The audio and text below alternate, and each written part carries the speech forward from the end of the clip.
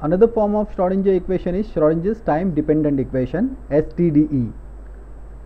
This STDE can be obtained by representing momentum and energy as operators and making them to operate on wave function psi.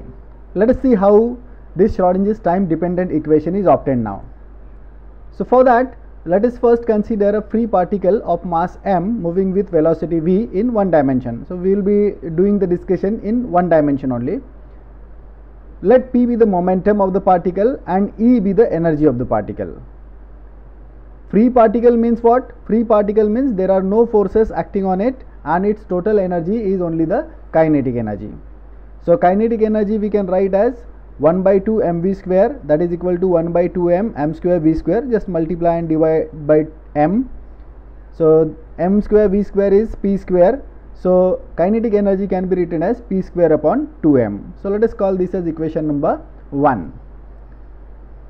This moving particle will have a wave associated with it and wavelength of that wave is uh, given by lambda equal to h upon p. So this uh, wavelength lambda uh, is equal to h upon p therefore we can write p equal to h upon lambda just multiply and divide by 2 pi h upon 2 pi is h bar and 2 pi by lambda is k the propagation constant. So this momentum can be represented as h bar k. So we will be using this relation uh, in the further discussion. So just remember this let us call this as equation number 2. So p is equal to h bar k.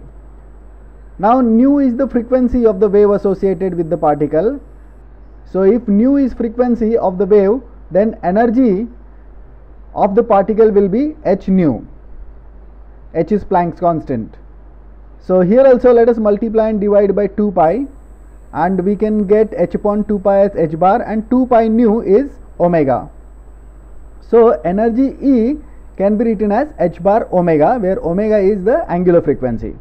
So this also we will be using in our further discussion. Let us call this equation E is equal to h bar omega as equation number 3.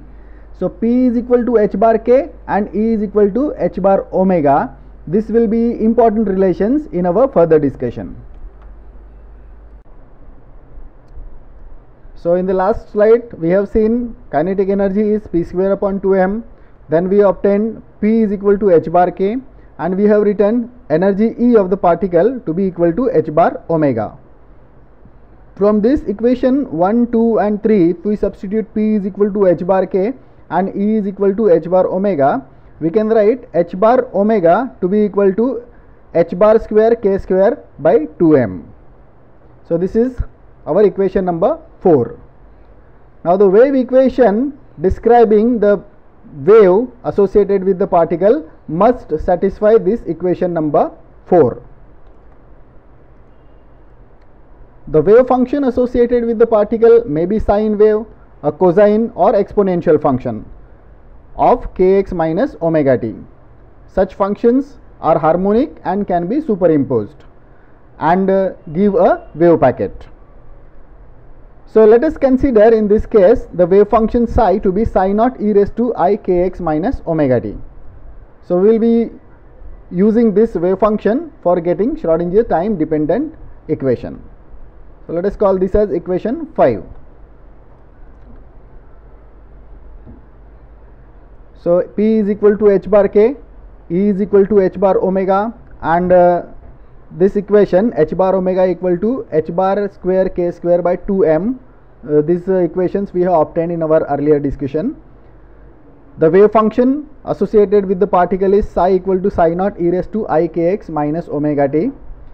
Now what we will do is we will try to represent energy as an operator and momentum also as an operator and then we will make them to operate on the wave function psi.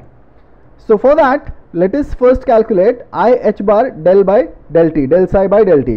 So i h bar del psi by del t.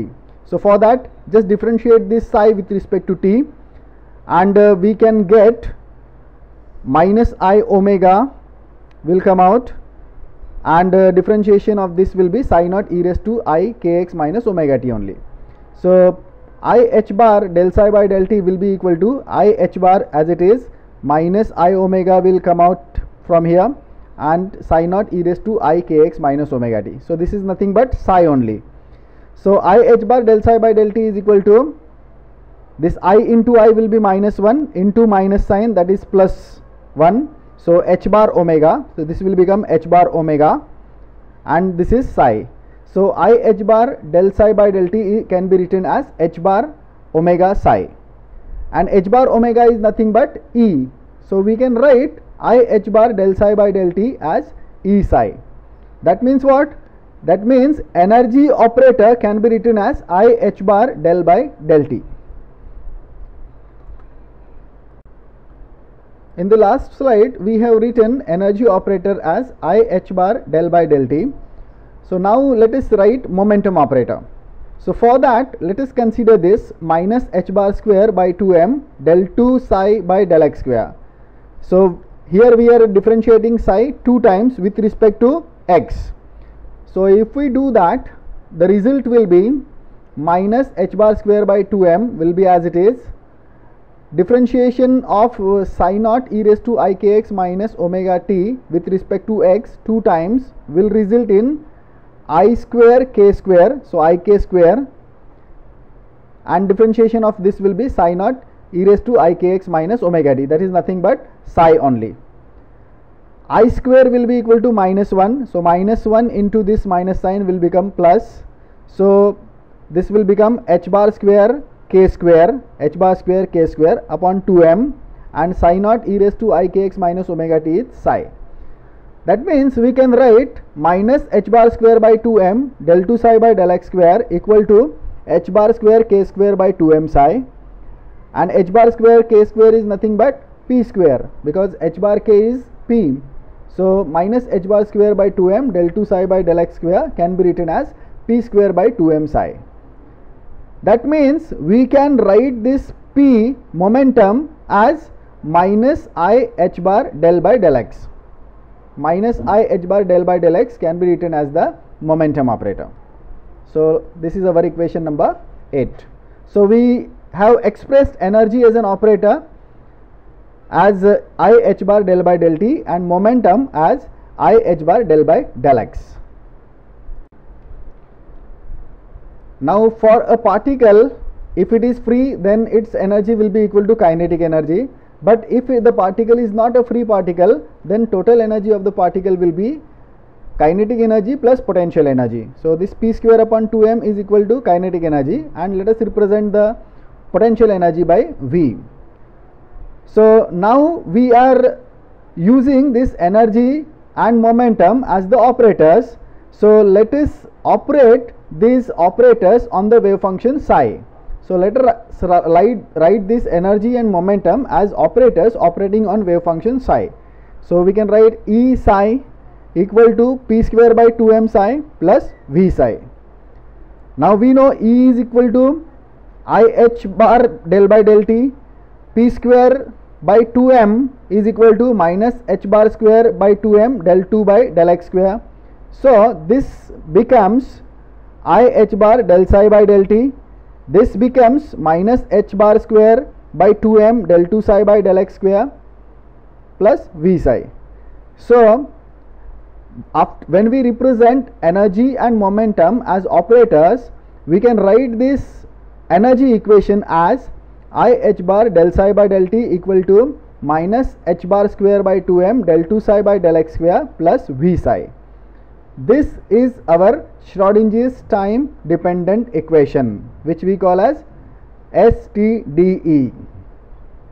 Some books write it as TDSE also.